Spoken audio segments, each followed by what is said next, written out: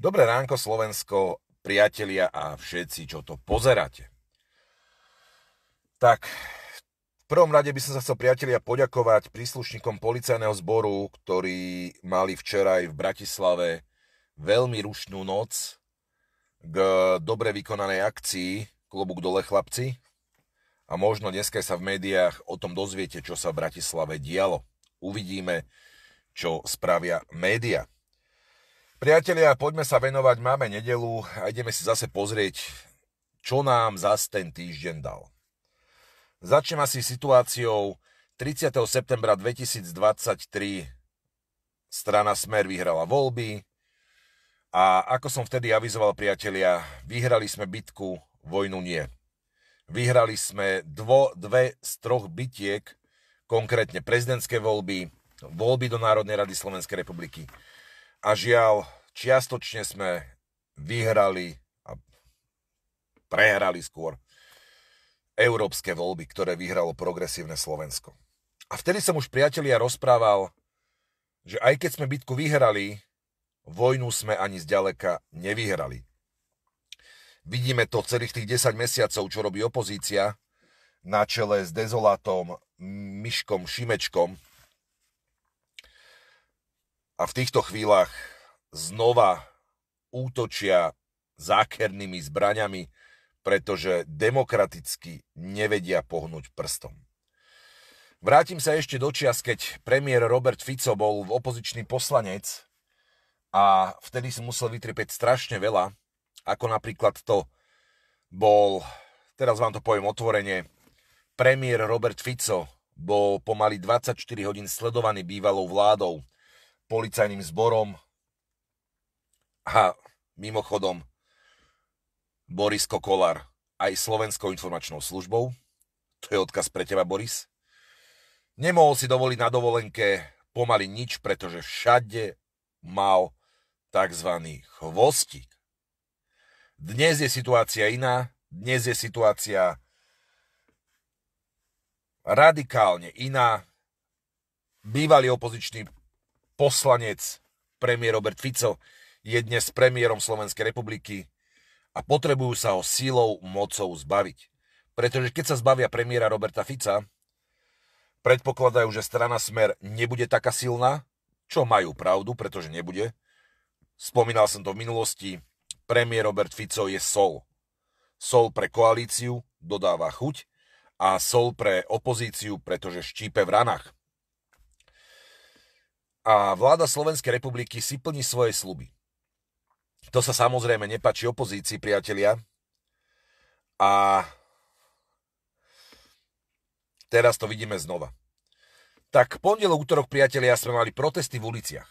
Znova progresívne Slovensko, tá kultúrna obec, kde niekoľko z týchto, nazvime to, kultúrne duševných ľudí, ako Stanke, a spol, mimochodom, stánke zadržaný s, s alkoholom.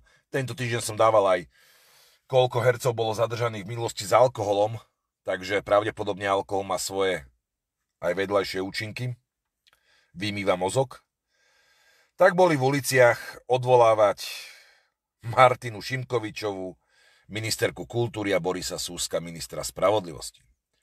Priatelia, tu poviem iba jedno. Karma je zdarma. Bliakajte si na tých námestiach, koľko chcete, nedosiahnete nič. My sme takisto od roku 2020 chodili na tie námestia, tiež sme si kričali odvolajte Igora Matoviča, odvolajte Hegera, odvolajte Krajčího a nedosiahli sme nič. Dnes si na tých námestiach kľudne bliakajte koľko chcete, opozícia taktiež nedosiahnete nič. Jediný výsledok, aký dosiahnete, je možnosť priatelia vo voľbách, v riadnych parlamentných voľbách, ktoré minimálne 10 rokov dopredu ešte stále prehráte. Pretože matika nepustí. Hlas, smer, SNS a možno republika vás vždy predbehnú. Progresívne Slovensko a SAS nemá šancu. Psychiatrický pacient Igor Matovič pada do zabudnutia. posledných prieskumoch mu ukazujú 3%. Na jeho miesto ide nový psychiatrický pacient, obrazne povedané, a to dezolát Jarko Nať, ten, ktorý rozpredal, alebo ináč povedané, daroval celú armádnu výzbroj Ukrajine, ten proukrajinský, proamerický poskok, ktorý by sa taktiež najradšej strčil Sorošovi viete kam, len tam ho nechcú, pretože ani Soroš mu nechce dávať peniaze. A boja sa priatelia. Takže hovorím, tento týždeň boli, v prote- boli protesty v uliciach.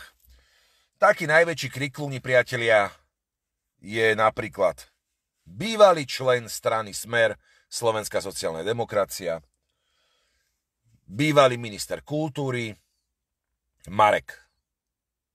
Ježi, teraz mi vypadlo meno. Takže keď chcete, napíšte mi prosím vás do komentu meno, nech si na to spomeniem. Mar- Maďarič. Takže tento pán Maďarič, ktorý bol čiernou ovcov v smere, som si pozrel tie dotácie, ktoré dával napríklad nadácia otvorenej spoločnosti, nadácia Milana Šimečku, tak áno, ja sa nedivím, že tento Maďarič kvičí ako o život, pretože on už začal dávať v roku 2018, ďakujem, tento Maďarič obrovské dotácie pre mimovládky a samozrejme bol čiernou ovcov smeru. Takže v týchto chvíľach, priatelia, aj tento Maďarič, Trapko, kvičí, pretože sa pravdepodobne príde na to, ako sa šafarilo aj počas jeho vlády. Takže zbytočne kvičíš, ma, Marek Maďarič, príde na psa mraz. Aj na teba, aj na teba. Pretože aj ty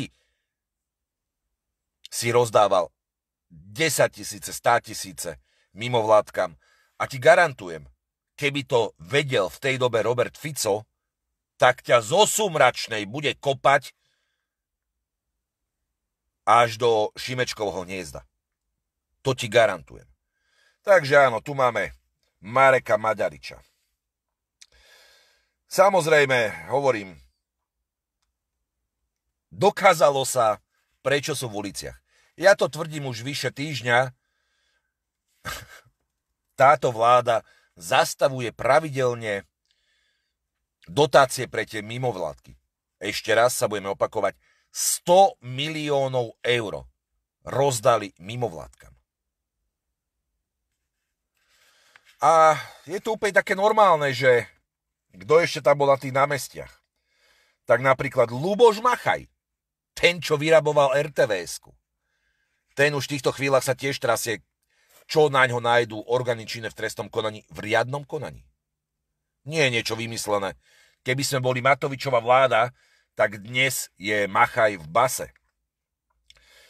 Sil- Silvia Hroncová tam bola. Bola tam bývalá šéfka súdnej rady. Bývala vyhodená šéfka Bibiany. A samozrejme nechybal ani člen prezidentskej kancelárie Zuzany Čaputovej. Takže ha, samozrejme, je to celkom zaujímavé, hovorím ešte raz. To, že vaše tupé ovce na námestiach nevidia viac ako 2 metre, alebo respektíve vidia len to, čo im ukazujete, nie je pekné.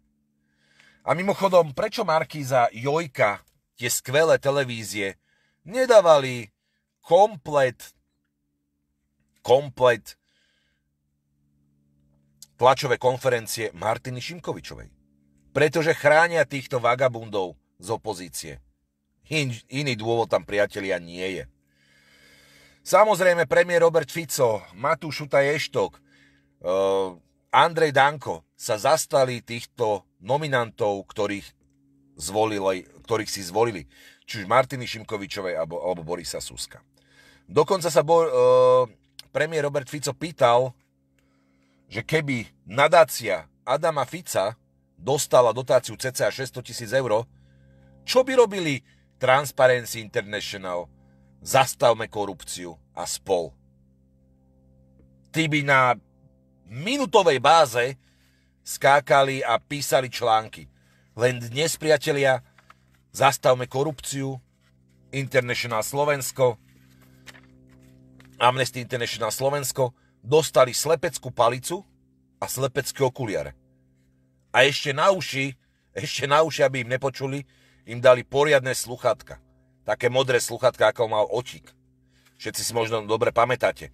Čiže slepecká palica a sluchatka, otikové sluchatka. Toto majú tieto mimovládky. Ale vlastne ani nie.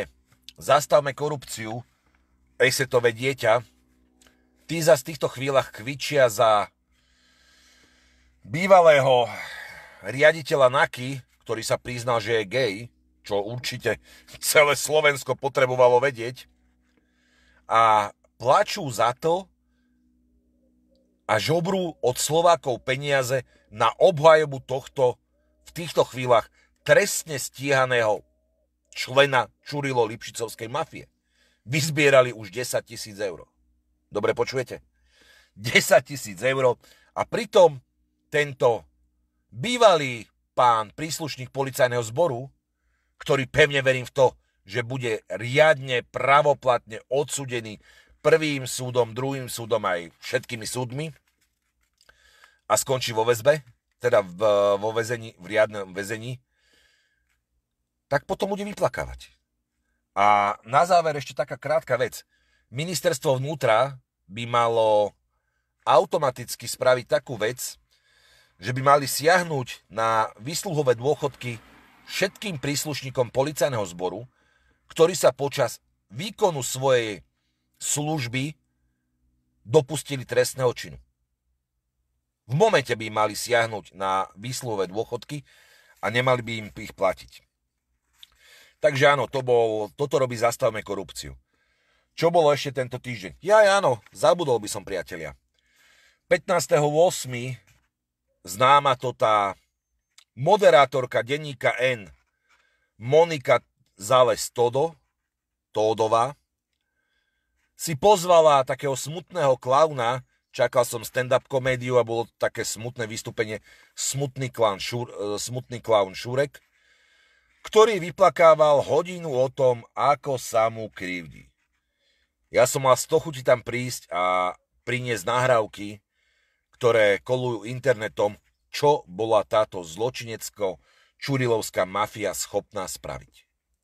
Takže pán Šurek zbytočne hodina plakania nepomohla. Mimochodom, oblikol, oblikol sa tam ako playboy, asi chcel zapôsobiť na Todovu, len zabudol, že jej pekáč obstaráva niekto iný. Pozdravujem sudkyňu Zalesku. Takže Šurek sa vyplakal, smutný klaun, bolo to celkom smutné, zo zahraničia v krátkosti Ukrajina beha po ruskom území, Európska únia to schvaluje, že oni sa bránia. Počúvajte teraz tú sprostosť niektorých politikov. Ukrajina má legitímne právo zasiahnuť na ruské územie a dobývať ruské územie, pretože sa bránia. Toto povedal nejaký pitomec Českej republiky. Rusi vyháňajú, Rusi z výrobu raket Kinžal dali do takej abnormálnej výroby, že majú 10 násobok toho, čo mali pred troma rokmi. Takže bude tu veselo. Hovorím, mierové rokovania stále nie sú. Ukrajina si ide svoje, Ruská federácia si ide svoje. Dozvedeli sme sa, priatelia, ako vznikol ten skvelý nápad teroristického útoku voči Európskej únii, konkrétne Nord Stream 2, že Ukrajinci sa nadrbali jak štolverky a dostali tento skvelý nápad, ktorý neskôr aj uskutočnili. Potom to hodili na Rusov, Američania to hodili na Rusov, ale pritom celá Európska únia aj Spojené štáty americké vedeli ich tajné služby ešte pred útokom v máji, že sa také niečo bude diať a chystať. Takže štvrtá ríša nedala žiadne sankčné sankcie voči Ukrajine, skôr znova budú dotovať a je to zaujímavé, priatelia. Takže prajem vám, priatelia, pekný deň dnes. Konečne som sa dosť dobre vyspal, pretože v noci pršalo, neviem ako vy. ale pri tých 25 stupňových horúčavách sa spať ako si moc nedá. A potom chápem aj tých protestujúcich na námestiach, že im to trošku na tú hlavičku pripeká. A niekto písal, že trebalo by vodné dela. Nie, priatelia, keby sme tam donesli vodné dela, oni by boli radi, keby sme ich kropili v tomto teple. To nechceme. Vodné dela je najideálnejšie použiť v oktobri, jak na nás, že? Takže ešte raz, priatelia, prajem vám pekný deň. Tu máme v krátkosti, čo týždeň dal. Bojujeme ďalej, pretože bitku sme síce vyhrali, vojnu zďaleka nie. A pevne verím v to, že 10 rokov, minimálne 10 rokov, tu bude táto vláda. Premiér Robert Fico ďalšie 4 roky a prezident Peter Pellegrini ďalších 5 rokov.